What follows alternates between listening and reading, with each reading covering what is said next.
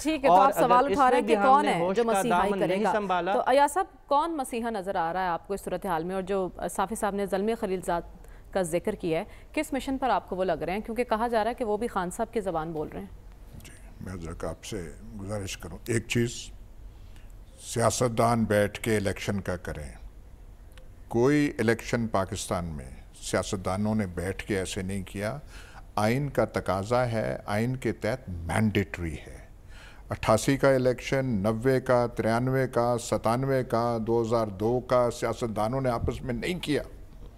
ये आइन का तकाजा है कि आपको इस वक्त करना, कराना पड़ता है। एक बात।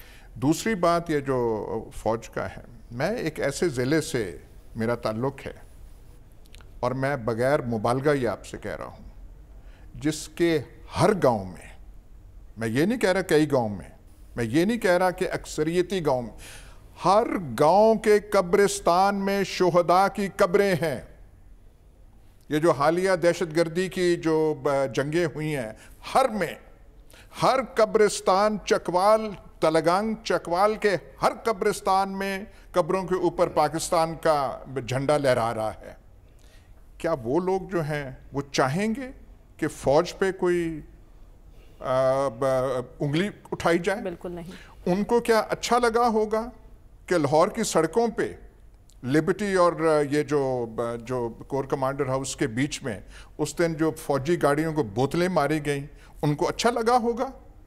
उनको अच्छा लगा होगा कि फ़ौज को मुतनाज़ बनाया जाए? लेकिन उसका तकाजा ये है कि फ़ौज के इमेज पे आपको दाग ना आने दें। फ़ौज का इमेज साफ़ रहे। फ़ौज सियासी सियासी ये ये जो है मनूवरिंग चलाकियों से फौज आर्म फोर्सेस ऊपर रहें। हर कौम का फिर वो ऐसे ट्रस्ट होता है। आप जब मनूवरिंग करने लगे और चीज़ें करने लगे अपने आप को मुतनाज़ बना ले मैं डिटेल में जा नहीं सकता और आप समझती हैं मैं क्यों नहीं जा सकता? तो फिर ये सारी चीज़ें होती हैं। फिर मगर मच के आँसू रोना सिचुएशन आप क्रिएट करें। और फिर जो है मुहब वतनी की ढाल लेके आप डिस्कशंस और मुल्की सियासत को आप डाइवर्ट करने चाहें ये फौज के लिए सर्विस नहीं है। ये फौज के लिए डिस सर्विस है। ठीक है। जहाँ तक जलम खलीलजाद की बात है उसने अपने मुल्क को तबाह किया ये किया। दोहा की नेगोशिएशंस में अमेरिकन टीम को लीड कर रहा था जलम खलीलजाद जलम खलीलजाद ने वो कंडीशंस बनाई और अपनी एडमिनिस्ट्रेशन को पहले ट्रंप फिर बाद में बाइडेन एडमिनिस्ट्रेशन को बावर कराया कि अफ़गानिस्तान से निकलिए। अफ़गानिस्तान में जंग ना कीजिए। ठीक है। उसने अफगान लोगों के लिए एक सर्विस की। ये खाम खा के क्लीशियस मंच इस्तेमाल करें उसने अमेरिका को तबाह कर दिया अफगानियों को तबाह कर दिया।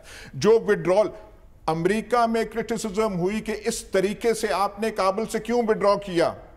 आपने आखिरी दिफाई मोर्चे वहाँ क्यों नहीं बनाए? आपने जाते जाते खून रेजी क्यों नहीं की?